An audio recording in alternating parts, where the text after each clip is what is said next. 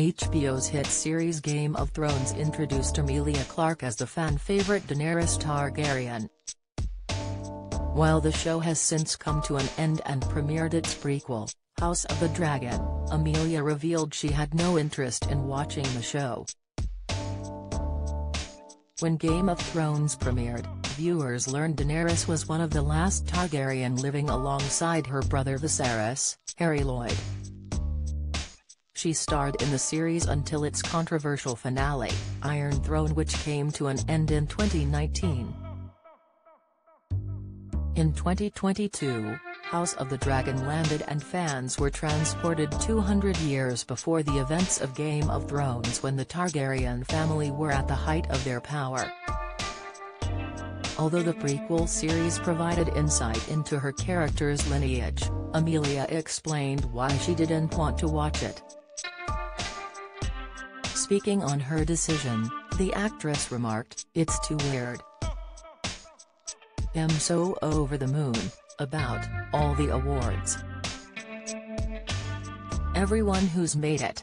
Emilia also paid tribute to Miguel Sapochnik, the former co-showrunner of House of the Dragon as she added, love him. Brilliant. Wonderful. But stated, I just can't do it, it's so weird, it's so strange. It's kind of like someone saying, you want to go to this school reunion that's not your year? You want to go to that school reunion? That's kind of how it feels, am avoiding it, Emilia confirmed to Variety. Despite her reservations, the spin-off proved to be a huge hit with fans and went on the smash HBO's streaming records. The House of the Dragon premiere garnered a whopping 10 million viewers, the largest audience for any new original series in the history of HBO. Despite the backlash from its gruesome premiere, even more viewers tuned in as the second episode proved to be a smash hit. The episode surpassed the record-breaking viewership figures of its premiere with 10. 2 million viewers in the US switching to HBO. The series followed Rhaenyra, Emma Darcy, and Aegon's, Tom Glynn-Carney, ruthless fight for the throne after the death of their father Viserys Targaryen, Paddy Considine. Which would then spark the eagerly awaited civil war known as the Dance of the Dragons fans are anticipating a brutal feud between the family after Rhaenyra's son was murdered and her younger brother stole the throne.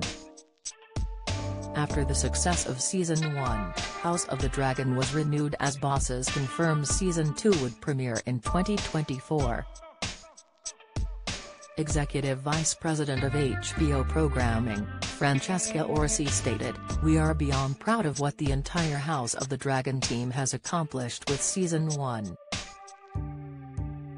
Our phenomenal cast and crew undertook a massive challenge and exceeded all expectations, delivering a show that has already established itself as must-see TV.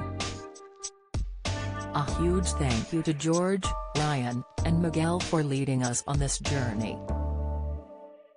We couldn't be more excited to continue bringing to life the epic saga of House Targaryen with Season 2.